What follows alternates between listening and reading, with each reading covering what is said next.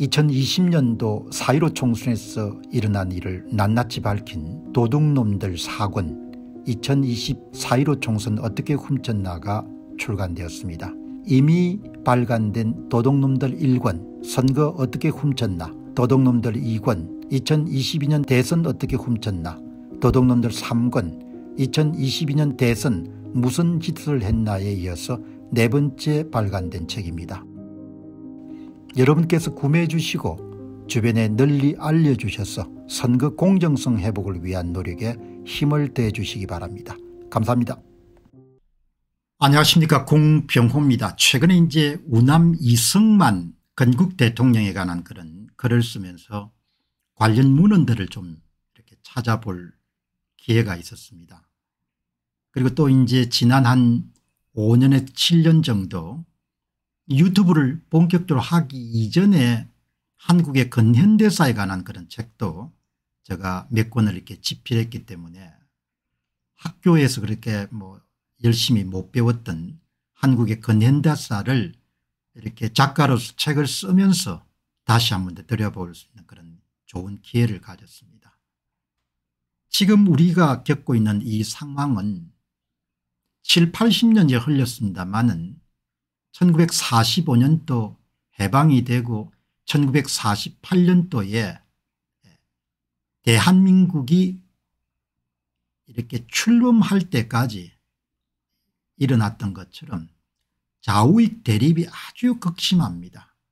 제가 참 놀라운 것은 세월이 7, 80년 정도 흘렀고 그 다음에 자본주의 체제를 선택해서 이렇게 번영된 국가가 되었음에도 불구하고 좌우익의 대결 구도는 조금도 여러분들 바뀌지 않은 것 같고 오히려 좌파들이 1945년에 비교해 가지고 훨씬 더 공고하고 견고하게 사회의 도처의 진지를 구축하고 나라를 접수해 가고 있다는 것이 제가 갖고 있는 인식입니다. 그 진지전 가운데서도 좌파들이 가장 혁혁한 공을 거두고 있는 것이 바로 선거 사무를 장악한 겁니다.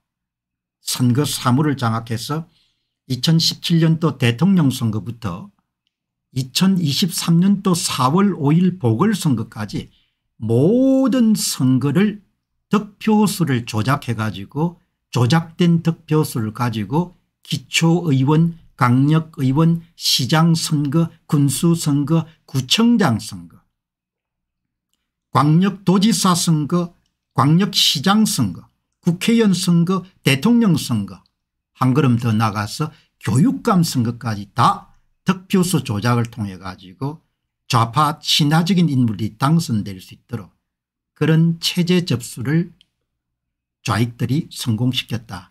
그것이 제가 갖고 있는 지금 문제인식이고 그 내용을 여러분들 낱낱이 여러분들 파헤친 것이 바로 이 책입니다.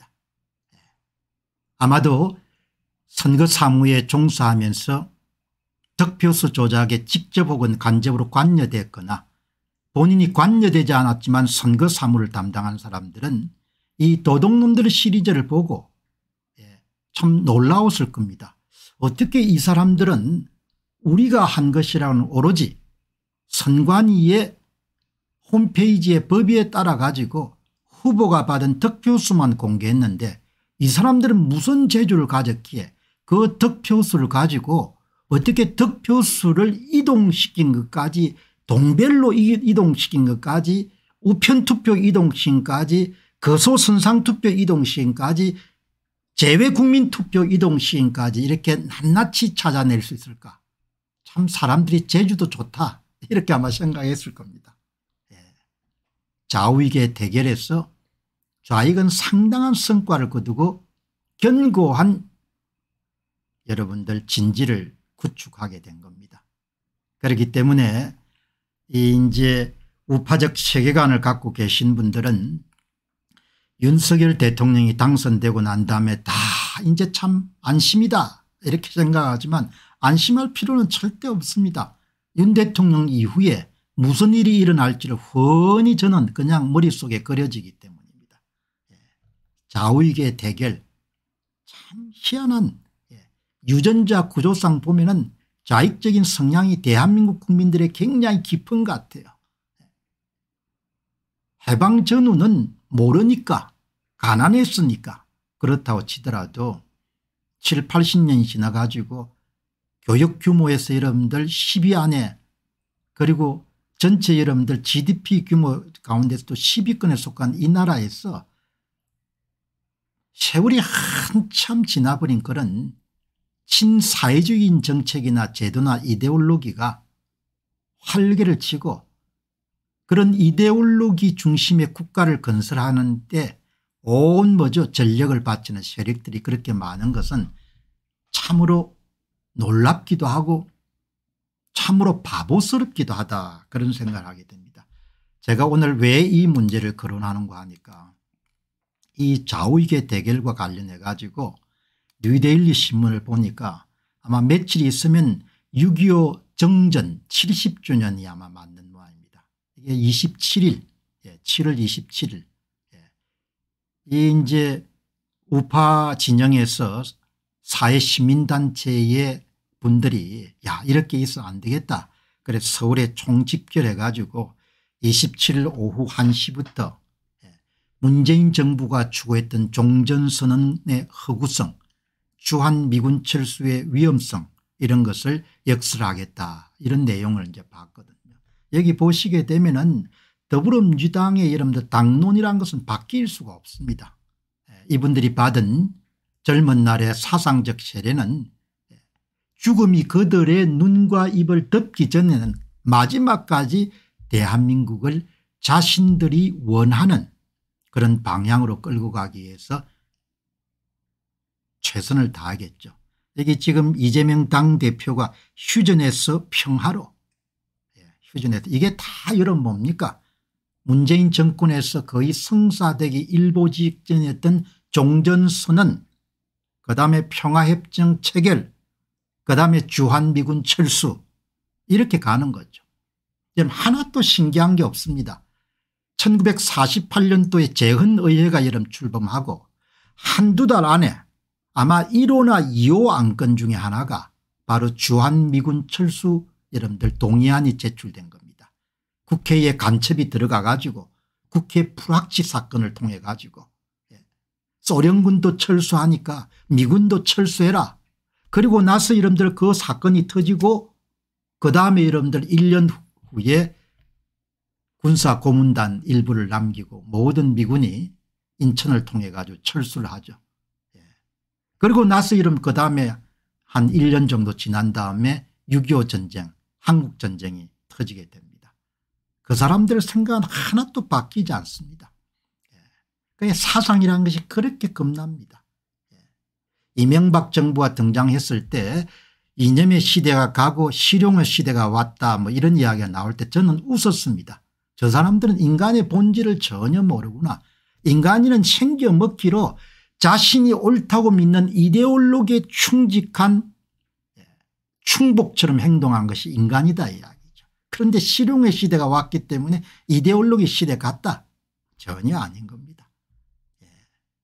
여러분들이 이렇게 해서 아마 우파 시민단체들이 6.25 전쟁 정전협전 70주년을 맞은 7월 27일 날 이렇게 국내외 종북 자익 세력의 평화협정 주한미군 철수 주장을 규탄한 대규모 집회를 개최하는데 이제 마침 이때 이때 아마 좌파들이 다 연대를 해가지고 정전 70년 한반도 평화행동 뭐 이런 회의를 열어가지고 그렇게 자신들의 노선을 국내외에 천명하는 그런 시간을 갖는 모양입니다. 여러분 그 사람들은 기본적으로 입장이 그겁니다. 지금은 참 다행스럽게 또 운 좋게 윤석열 대통령이 당선돼서 윤 대통령에 대해서 호불호라는 것을 떠나가지고 어떻든 간에 국민이 크게 걱정하지 않을 정도로 체제를 변질하거나 이런 부분에서는 단호한 면을 갖고 있으니까 지금은 안심할 수가 있는데 그러나 윤석열 대통령 그 다음은 어떻게 되냐 예. 왜냐 그 사람들이 선거를 장악하고 있기 때문에 예.